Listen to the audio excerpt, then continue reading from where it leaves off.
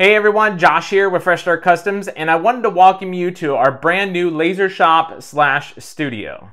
In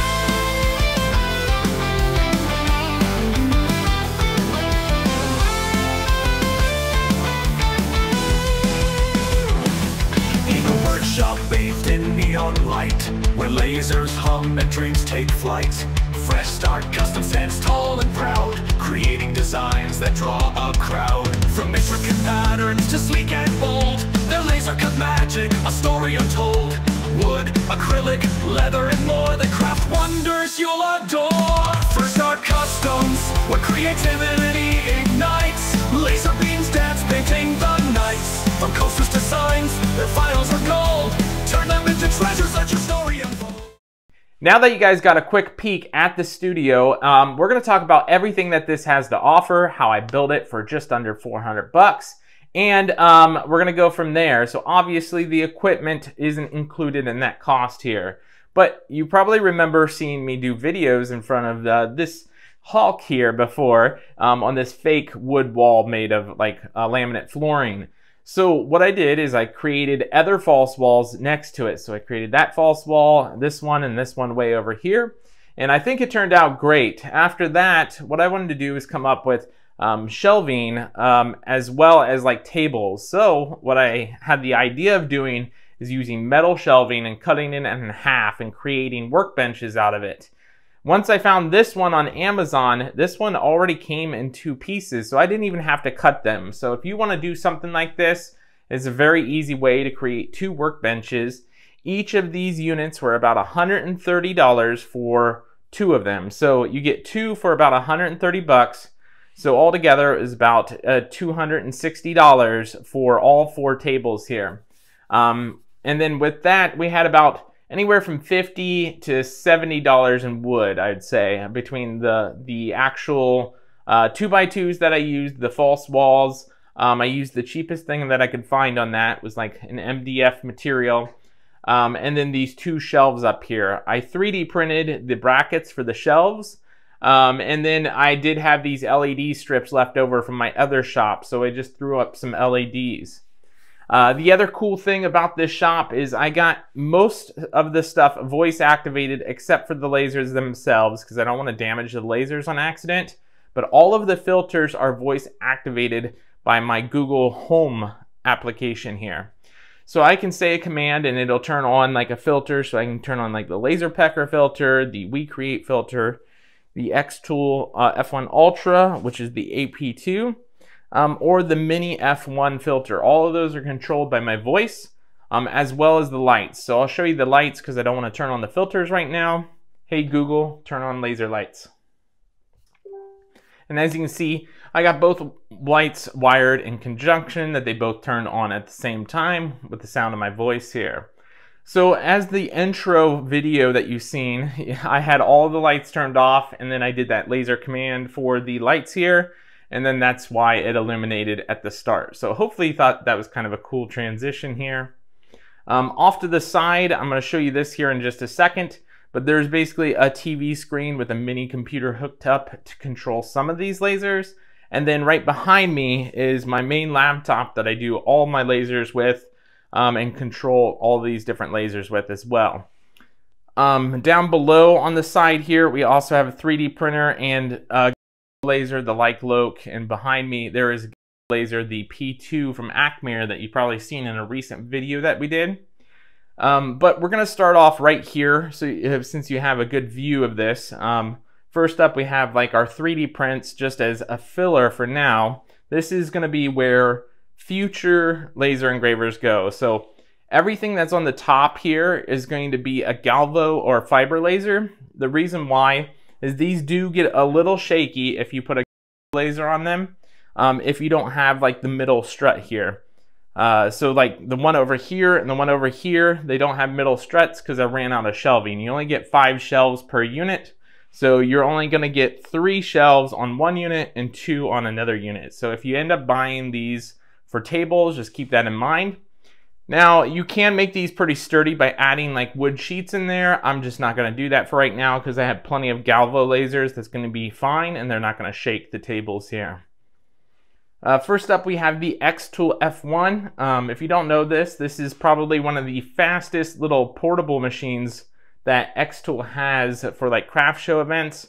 Um, they did just release the F2. They announced that just a few days ago. So hopefully we can get our hands on that. That'll be cool to be able to review that too if we can. Um, otherwise, we have the F1 Ultra. So this is the big brother to the F1. This thing flies. This has uh, like a fiber laser in it. It is diode laser in it as well. Um, so this thing is probably my favorite machine that I own. um, but a second closest favorite would be this WeCreat Lumos here. So the Lumos is pretty comparable to the F1, but it is a little bit stronger and um, it has a 3 watt IR laser in it. And overall, I think it's a little bit easier to use. Then we have the LaserPecker 5 here, and then uh, we have the air filter for it down below as well. And the LaserPecker 4 and the Longer Nano here. Uh, we also at the very end have the Munbyn uh, thermal printer. So I actually use that to print off labels for all of our stuff here.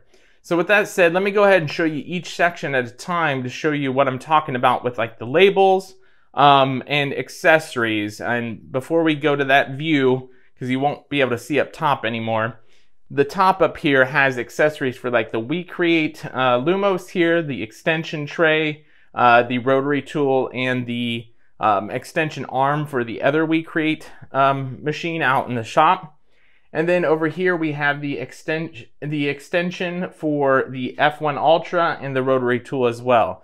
So with that said, let's go ahead and get a closer look from this view down on each section and we're going to talk about that. All right, guys, so I wanted to share with you the left side of the shop first. Uh, if you start over here, this is that Munbyn thermal printer that I was telling you about. I created all the labels for the accessories below.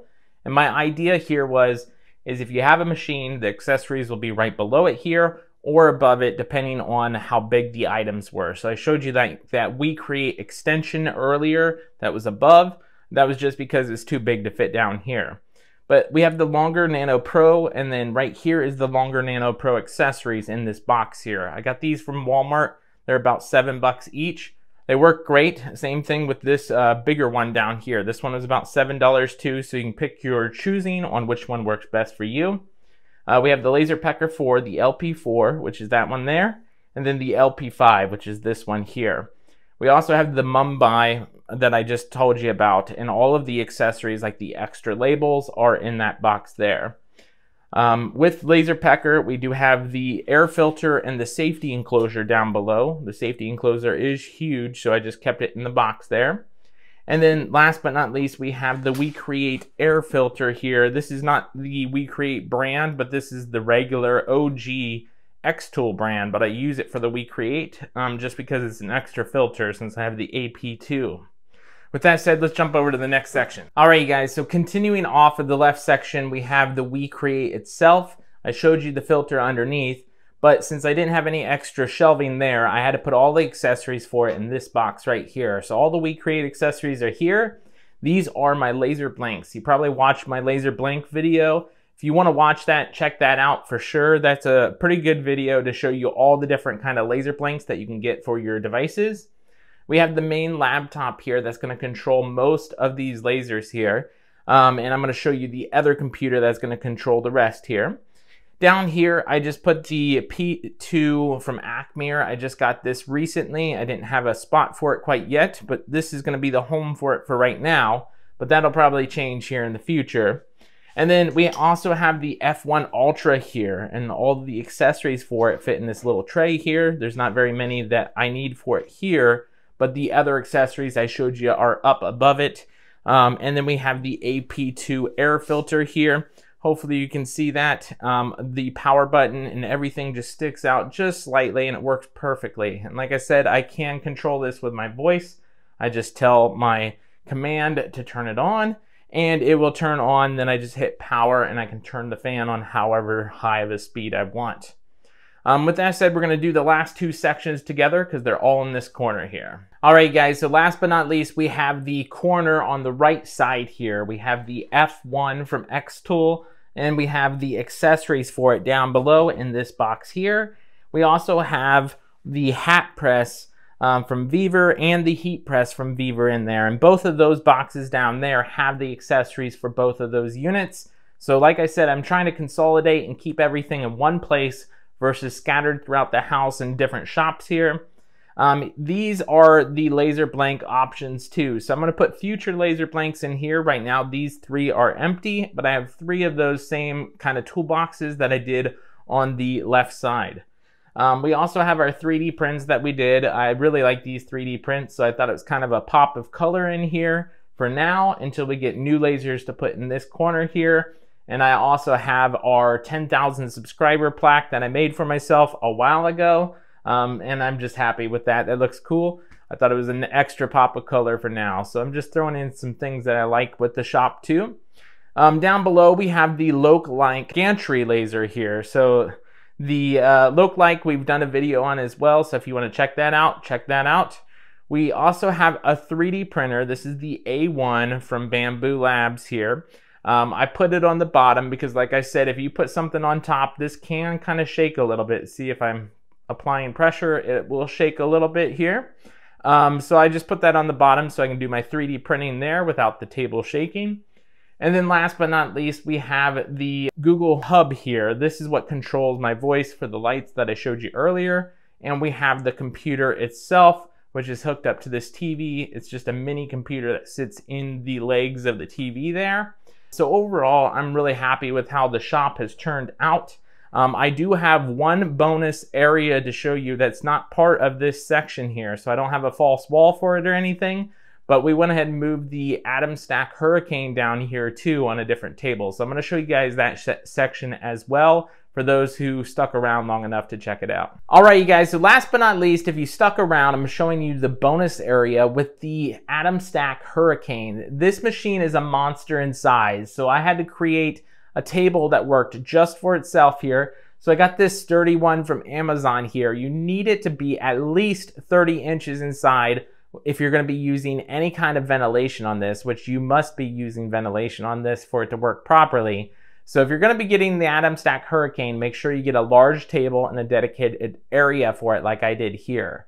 This is on the left-hand side of the shop if you're wondering where it's located, around the corner of where we started. Um, we also have our MacBook Pro set up here that's going to be running the unit, and then we have some laser projects that we created like the six tray display the pinball uh, machine and the popcorn holder here. If you guys are interested in laser engraving files, check it out in our shop, Fresh Start Customs on Etsy. I'll put a link down for that below. Other than that, I hope you guys enjoyed the new shop. We're going to be creating a lot of videos in this shop here, and we'll catch you guys in the next one.